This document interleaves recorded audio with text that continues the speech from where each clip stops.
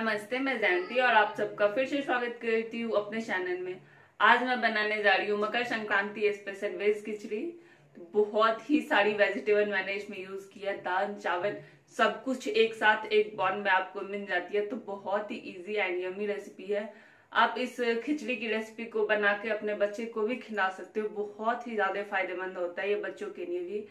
तो आप इस रेसिपी को ज़रूर ट्राई करना और इस मकर संक्रांति तो ज़रूर ही ट्राई करना क्योंकि मकर संक्रांति में खिचड़ी सबके घर में बनती है और इस तरह से मैंने जो बताया, इस तरह से अगर आप खिचड़ी बनाओगे तो बहुत ही हेल्दी और टेस्टी खिचड़ी आपकी बनके तैयार होगी। तो आप भी इस रेसिपी को ज़रूर ट्राई करना और अपने अनुभव मेरे साथ शेयर करना। तो अगर आपको मेरी वीडियोस अच्छी लगती है तो मेरी वीडियोस को लाइक करें और मेरे चैनल को सब्सक्राइब करना बिल्कुल भी ना भूलें। तो चलिए, फटाफट हम अपने हेल्दी खिचड़ी बना के तैयार करते हैं। वेजिटेबल खिचड़ी बनाने के लिए मैंने यहाँ पे लिया एक कप राइस। ये छोटे और मोटे वाले चावल जो मार्केट में आपको इजीली मिल जाएँगे, वो वाले हैं। मैं सजेस्ट करूँगी कि आप खिचड़ी में बासमती राइस ना यूज़ करें। आपके पास छोटे वाले चावल हैं तो आप यू, वो यूज़ कर सकते हो, या फिर आपके पास बॉयल्ड राइस है तो वो भी आप यूज़ कर सकते हो। बॉयल्ड राइस से भी बहुत ही अच्छी खिचड़ी बन के तैयार होती है। बट मैं सजेस्ट करूँगी कि यहाँ पे आप बासमती राइस ना यूज़ करें। तो मैंने यहाँ पे ये सोना मंसूरी का बॉयल्ड राइस लिया है तो ये मैंने एक कप चावल ले लिया है। तो इसे मैं एक बड़े बॉल में डाल देती हूँ। और सेम कप से, जिस कप से मैंने चावल लिया था सेम कप से मैंने यहाँ हाफ़ कप दाल लिया है।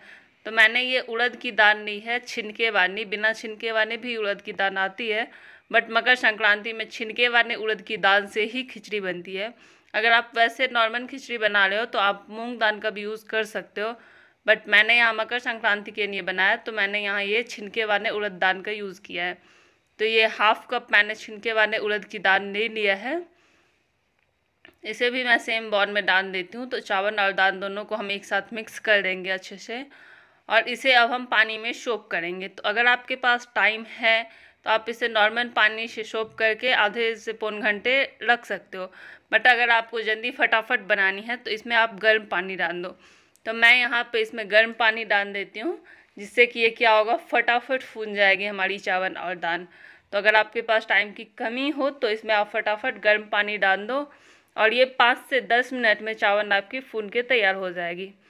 तो मैं यहाँ पे गर्म पानी डाल देती हूँ। ये मैंने यहाँ गर्म पानी डाल दिया है और अच्छे से हम अपनी चावल को पूरे पानी में सोप कर देंगे और इसे दस मिनट के लिए छोड़ देंगे। तो इसे साइड में रख देते हैं। तो ये देखिए दस मिनट हो चुकी है और हमारी चावल दाल अच्छे से सोप, पानी सोप कर चुकी है और ये बहुत ही अच्छी तरह से फून चुकी है। तो अब हम इस पानी को स्ट्रेन कर लेते हैं और ये देखिए आप देख सकते हो हमारी चावल दाल कितनी अच्छी तरह से फून चुकी है। तो सब्जियों में मैंने यहाँ पे लिया कैप्सिकम टमाटर बीन्स गोभी, मटर और गाजर। तो आप अपने मनपसंद से यहाँ पे कोई भी सब्ज़ियाँ यूज़ कर सकते हो, या फिर अगर इसमें से आपको कोई भी सब्ज़ियाँ ना पसंद हो तो उसे भी आप स्किप कर सकते हो। ये पूरी तरह ऑप्शनल है सब्ज़ियाँ बट मैंने यहाँ भेज खिचड़ी बनाई है तो इसमें आप जितने ज़्यादा सब्ज़ी डालोगे, उतनी अच्छी खिचड़ी बनेगी।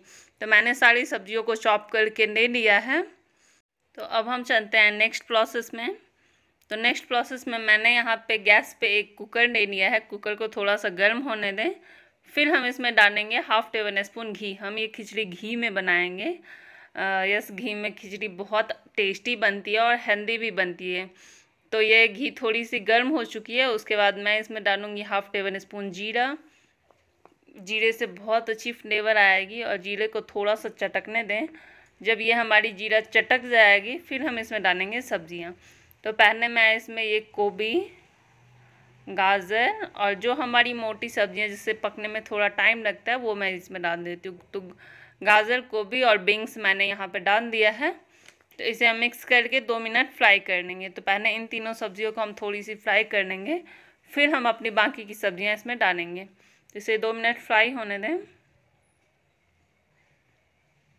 तो ये देखिए, इसे, इन सारी सब्जियों को मैंने दो मिनट फ्राई कर लिया है। तो ये दो मिनट फ्राई हो चुके हैं, इससे ज़्यादा मैं नहीं फ्राई करना है। तो मैं इसमें बाकी जो सब्ज़ियाँ हमारी बची हुई थी, सारी सब्ज़ियाँ मैं यहाँ पे डाल देती हूँ। टमाटर भी मैं साथ में डाल देती हूँ।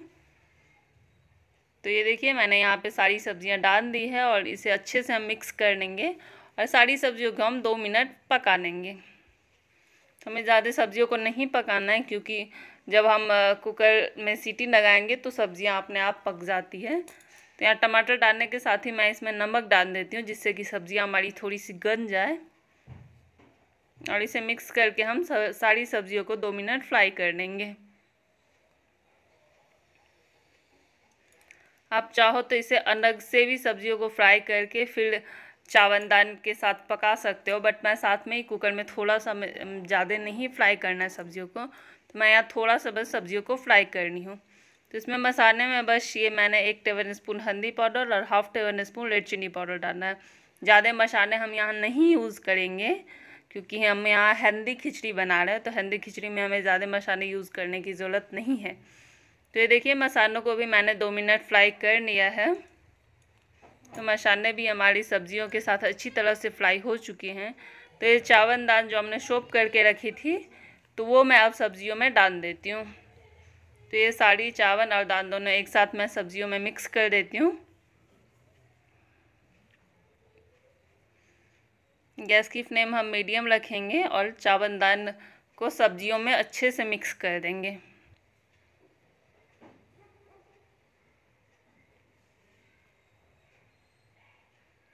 तो ये देखिए मैंने चावल दान को सब्जियों में अच्छे से मिक्स कर लिया और इसके साथ सब्जियों के साथ भी हम चावल दान को एक से दो मिनट पका लेंगे जिससे कि हमारी चावल भी थोड़ी सी फ्राई हो जाए।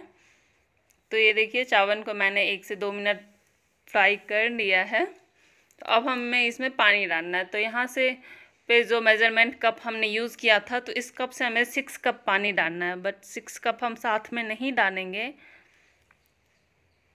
तो यहाँ पे अभी मैं चार कप पानी डाल देती हूँ। तो ये देखिए मैंने यहाँ पे चार कप पानी डाल दिया, दो कप हम पानी बाद में ही डालेंगे। क्योंकि अगर हम एक साथ सारा पानी डाल देंगे तो फिर सीटी लगने टाइम बाहर से पानी निकल सकती है। इस वजह से जब हमारी खिचड़ी कुक हो जाएगी, फिर हम इसमें बाकी के पानी डालेंगे। यहाँ पे मैंने चार कप पानी डाल के अच्छे से इसे मिक्स कर दिया है। अब हम कुकर का ढक्कन लगा देते हैं और इसे दो से तीन सीटी आने का वेट करेंगे। तो कुकर में हमें दो से तीन सीटी डालना है। तो ये देखिए, ये तीसरी सीटी आ चुकी है। तो अब हम अपनी गैस की फ्लेम ऑफ़ कर देंगे क्योंकि ज़्यादा हमें गनाना चावल कुछ ज़्यादा गनाना नहीं है। तो बस हमें तीन सीटी में इसे गैस को ऑफ़ कर देना है और हम सीटी का प्रेशर निकलने तक वेट करेंगे। तो ये आप देख सकते हो, हमारी कुकर की सीटी से प्रेशर निकल गई है। तो अब हम कुकर को खोल लेते हैं। तो ये देखिए, हमारी खिचड़ी कितनी अच्छी बनी है। बहुत ही अच्छी तरह से पकी है। हमारी सारी सब्ज़ियाँ भी बहुत अच्छी तरह से पकी है। बट ये अभी थोड़ी सी ज़्यादा सूखी है तो मैं इसमें दो कप पानी जो हमने अभी फोर कप पानी ही डालना था, दो कप अभी बचा था तो वो मैं अभी इस स्टेज में डाल देती हूँ। और खिचड़ियों में हम पानी को अच्छे से मिक्स कर लेंगे। आप चाहो तो यहाँ पे गैस ऑन करके थोड़ा सा खिचड़ी को बॉयल भी कर सकते हो बट मैं यहाँ नहीं कर रही हूँ क्योंकि खिचड़ी ऑलरेडी गर्म है, इसमें पानी डालने से कोई फ़र्क नहीं पड़ेगा। बन के अच्छे से मिक्स हो जाएगा तो मैं खिचड़ी को पानी के साथ अच्छे से मिक्स कर लेती हूँ।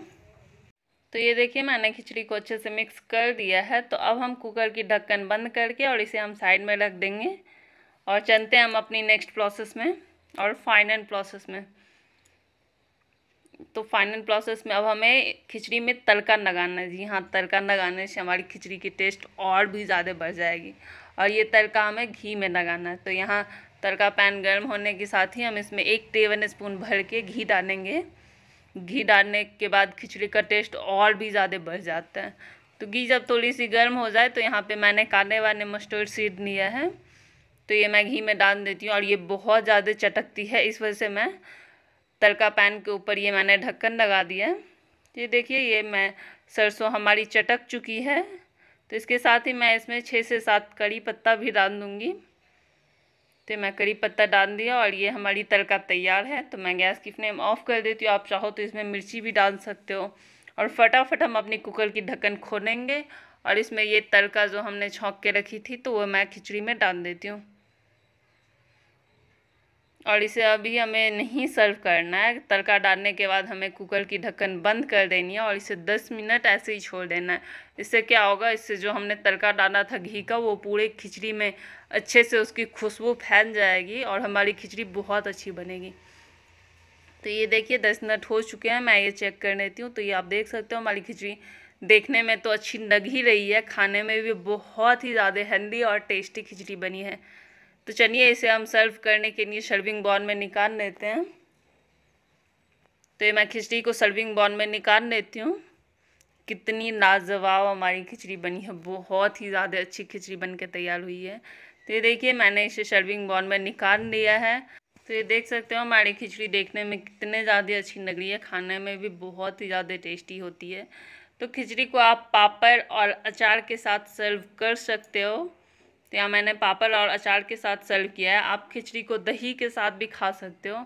वो भी बहुत ही ज़्यादा टेस्टी लगती है खाने में। आप किसी भी चीज़ के खाए, खिचड़ी हमारी बहुत हेल्दी बनी है।